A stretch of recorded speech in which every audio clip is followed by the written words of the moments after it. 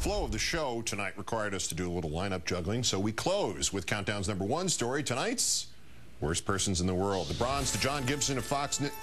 Oh, that's right. He got fired from TV. He's on Fixed News Radio now. Tells this story. I'm minding my own business at dinner, and suddenly I hear, Gibby! I look up, and there's Phil Griffin, the guy who runs MSNBC. He looks at me and he says, Going left is the right thing to do. I guarantee you he doesn't have a political bone in his body. He was looking for ratings. Well, that's true. It explains why we fired John Gibson. But as usual, if it's a Gibson story, it is a twisted, misremembered, poorly reported one. Griffin came over to say hello to the woman Gibson was dining with, another former MSNBC employee, whereupon Gibson said to Griffin, so you guys went liberal. And Griffin replied, we're not going liberal, we're liberal, we're going smart. But it was the right thing to do.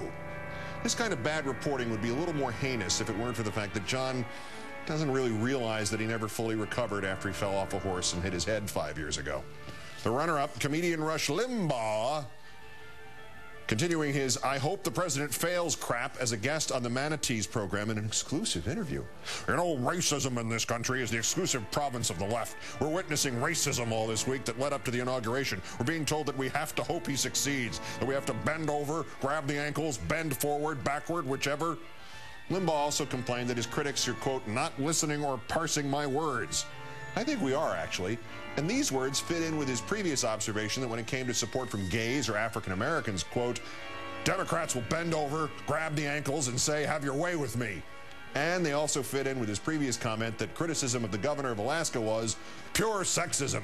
She didn't put up with it, and she didn't bend over and let them have their way. Well, I'm parsing his words, and he sure spends an uncomfortable amount of time describing himself or others bending over and grabbing his ankles. But our winner, John Thain, the CEO of Merrill Lynch, our pal, Erin Burnett of CNBC, with a little enterprise reporting today that Mr. Thain paid out at least $3 billion in bonuses to his people and spent a million to redesigning his office. A garbage can for just 1400 bucks. Roman shades 7300. Fabric for the Roman shades 11 grand. Shades are not sufficient for Mr. Thain. He also had four pairs of curtains for 28 grand. A commode with legs. That's really just a chest of drawers, not a toilet. $35,000. A light fixture for 19 grand. Two guest chairs for 43,000 each. An antique chair for 18,000. An antique credenza for 68 large a mahogany pedestal table for 25K. A very good bargain. What is described kind of mildly here as just table for 5800 And lastly, an area rug for $87,000. The area had better be all of Merrill Lynch's 10281 zip code, and it better cover all the homeless people in the neighborhood because though Mr. Thain's office redecorations took place early in the year last year, they were, in effect, part paid for by you. His company, Merrill Lynch, was taken over by Bank of America using at least $20 billion of taxpayer bailout money. Hey, you know what?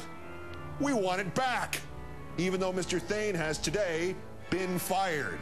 That's ex-CEO John, why don't you go live in your $1,400 garbage can, Thain, formerly of Merrill Lynch, today's worst person in the world.